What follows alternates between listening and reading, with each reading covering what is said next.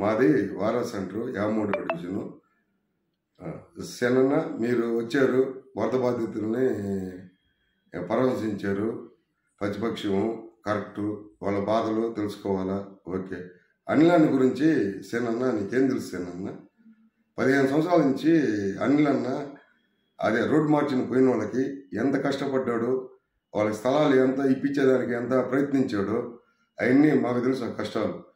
మూడు నాలుగు నెలలు అన్న భోజనాలు పెట్టి పోయిన వాళ్ళకి అందరికీ ఇల్లు పోయిన వాళ్ళకి అందరికీ భోజనాలు పెట్టి ఎంత సహకరించారో నాలుగు నాలుగు నాలుగు నాలుగు నెలలు అతను పోషించాడు వాళ్ళందరినీ.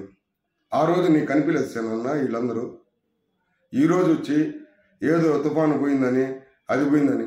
అయినా కానీ మేమున్నాం. వాస్తవంగా వాళ్ళు నలుగురు చెప్పారు అని కాదు. మేము మేము అన్ని మాకు అన్నీ పంపించిన తర్వాత ప్రతి ఒక్కటి మేము భోజనాలు మేము ఓకే చేసి అందరికి కడుపు నింపాము అందరికి నీళ్ళు ఇచ్చాము అన్నీ చేసాము ఏదో నలుగురు నువ్వు నలుగురిని అంటేసుకొని వచ్చి మా వారా సెంటర్లో ఒక ఇద్దరిని వేసుకొని ఆ చంద్ర చ- గిరిజన కాలనీలో ఒకరిని ఇద్దరిని వేసుకొని వచ్చి వాళ్ళకి ఏం తెలుస్తాయన్న కష్టాలు?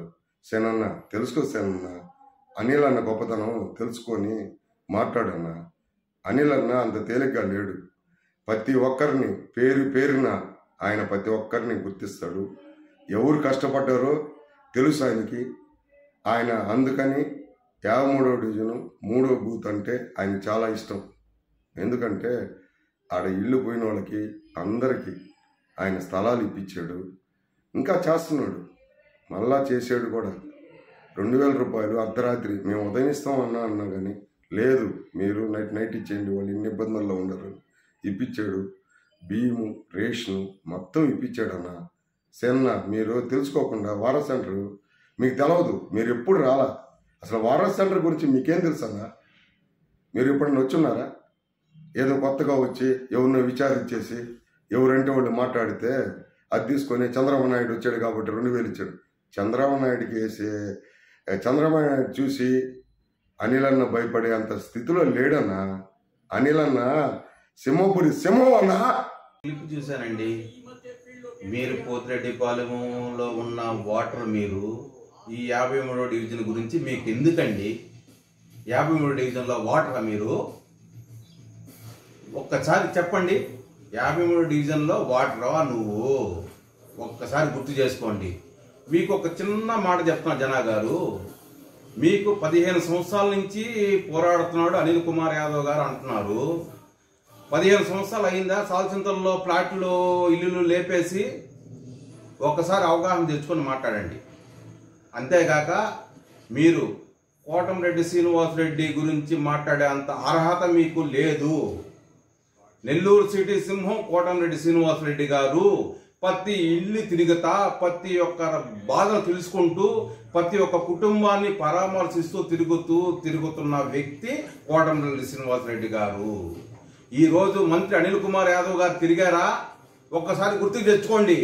పదిహేను సంవత్సరాల చరిత్ర ఇరవై సంవత్సరాల చరిత్ర ముప్పై సంవత్సరాల చరిత్ర అని చెప్పడం కాదు జనా గారు ఎప్పుడు తిరిగారు ఎప్పుడు తిరగతున్నారనే మాత్రం గుర్తు కోటంరెడ్డి కోటంరెడ్డి శ్రీనివాసరెడ్డి గారు ప్రతి ఇల్లు తిరుగుతున్నారు ప్రతి ఒక్కరి కష్టాలు తెలుసుకుంటున్నారు. నెక్స్ట్ అయ్యేది కోటంరెడ్డి శ్రీనివాసరెడ్డి గారే ఎమ్మెల్యే.